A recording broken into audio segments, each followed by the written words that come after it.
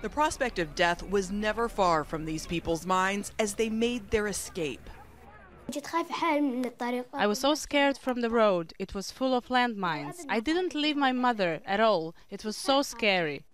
Nine year old Hiba and her family crawled through bushes and walked for 15 hours to reach a Peshmerga checkpoint. The children were so terrified they heeded their father's warning. We implemented a concrete rule no one would utter a single syllable, because if anyone spoke, ISIL would catch us. I felt so sorry in these dark moments. I burst out crying, but I hugged them and told them we would make it to safety. When we met Hiba and her family, it had been five days since they fled the ISIL controlled town of Hawija.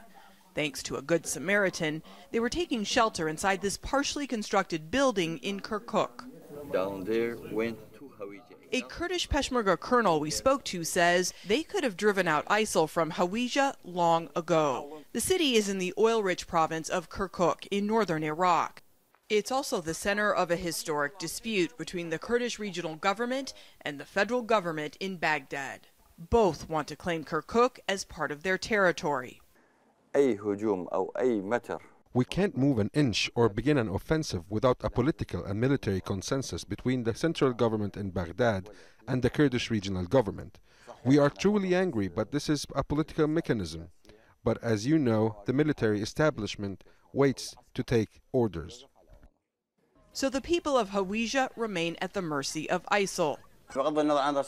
Regardless of the political infighting, the longer the fight continues, the harder our uncertain future becomes. Hiba and her family say they want to remain optimistic and believe they'll go home soon, but they won't have a house to return to. After they escaped, neighbors told them ISIL demolished it and looted their belongings. Natasha Ghoneim, Al Jazeera, Kirkuk Province, Iraq.